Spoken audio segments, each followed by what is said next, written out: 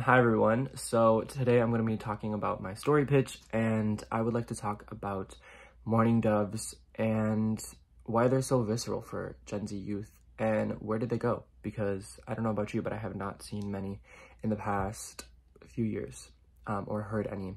So um, I want to talk about what's happening with them, their populations, how they're affecting to, sorry, how they're reacting to climate change. I spoke with John Schultz, who did a lot of research on actually the hunting of mourning doves, and later told me that he left the research because he felt um, his research that showed mourning dove populations weren't really affected by hunting.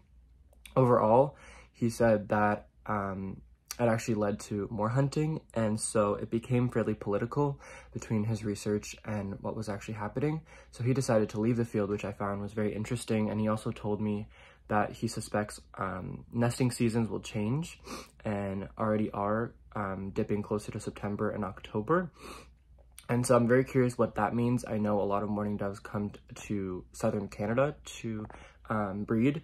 So I'm kind of looking into that, but also I would like to touch on the larger cultural aspects.